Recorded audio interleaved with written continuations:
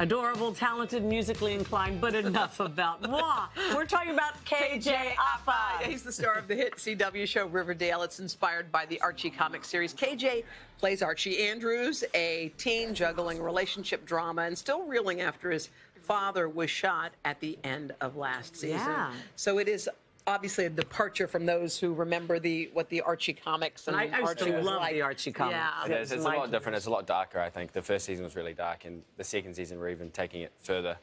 Um, so it's getting even darker this season. You're But red. the fans have, have Yeah. really embraced it. Very much so. Yeah, Yeah. we were really surprised uh, with the, the reaction after the first season. I think we're because there's already so many fans from, from the Archie comics, right? Right. So it was it was cool to see them come out after the first season. Now there was this big nationwide search for for the lead character, your character, Hmm. um, and just explain how you landed that because that couldn't have been easy. Yeah, it was it was funny how it worked. I was in LA for pilot season at the start of last year, and um, it was one of the first auditions I went to, and I didn't hear anything back for about two weeks, and then I got asked to go back, and the uh, the casting director David Rappaport d- was like, "Have you you've come in before?" And I was like, "Yeah, I was here two weeks ago," and he's like, "Oh, just stay right here, stay right here," and, and then next Oh. minute I was doing it, reading in front of uh, the showrunner and the producers and stuff. So That's when you you can almost taste it when you get to that that's when I, point, my heart started to really get, Yeah. get going. Yeah, for Look sure. at your hair. I By the way, that is some Archie hair. So what's your natural hair color? My natural hair color is like dark brown, almost Uh-huh. black, almost black. So every every two weeks, yeah, there you go. Oh.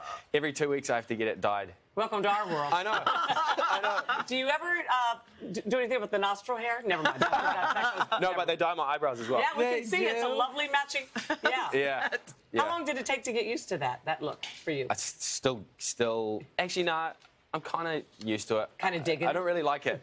I don't really like it for like for my own thing. I think Yeah. it's great. Obviously, for the character, it's great. And how's the music career going? Because that's that's one of your passions. I love music. Yeah. Yeah. Um, I mean, I don't know if I'm at that stage to make a career out of it Yeah. yet, but it's something on the side for sure. What do you I- like to play? really- Like what kind of songs turn you on? I love playing everything. I Stevie Ray Vaughan was Oh. one of my favorite guitarists.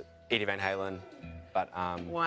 yeah, a lot of a lot Little of Eric, Clap- Eric Clapton, I would Of think. course, of course, yeah, of Well, it's course. great to meet you, sweet. All the Thank best. you so much Thank for coming Season to two premiere of Riverdale airs tonight on the CW. Hello, Today fans. Thanks for checking out our YouTube channel. Subscribe by clicking that button down there and click on any of the videos over here to watch the latest interviews, show highlights, and digital exclusives.